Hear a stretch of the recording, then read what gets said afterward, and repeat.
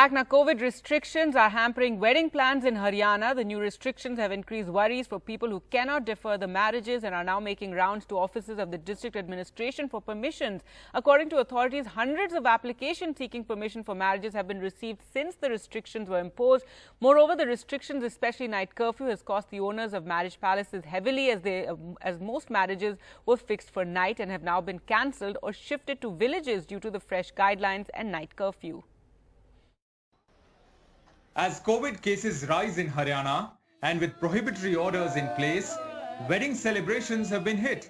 With only 30 guests allowed at indoor ceremonies and 50 for outdoor, people like Abhijit Singh are shifting venues from Delhi to Narwana town and then to his native village in Jind district.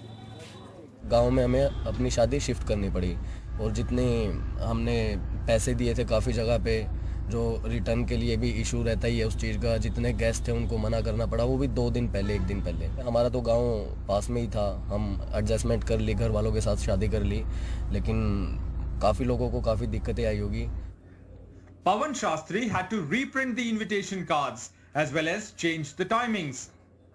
Corona की वजह से सरकार की जो कंडीशनें थी उनको देखते हुए मैंने जो कार्ड बांटे थे वो 500 की कंडीशन आने की वजह से मैंने कुछ रिश्तेदारों को और यार दोस्तों को शादी में आने से मना ही करना पड़ा।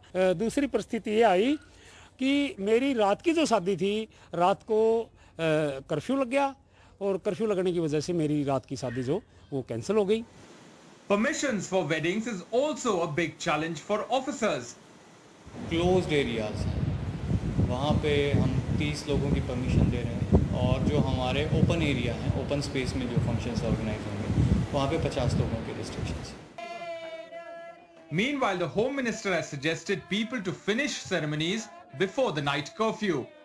सब ये माना जाए कि चार घंटे में लोगों को कार्यक्रम निपटाना होगा मजबूरी है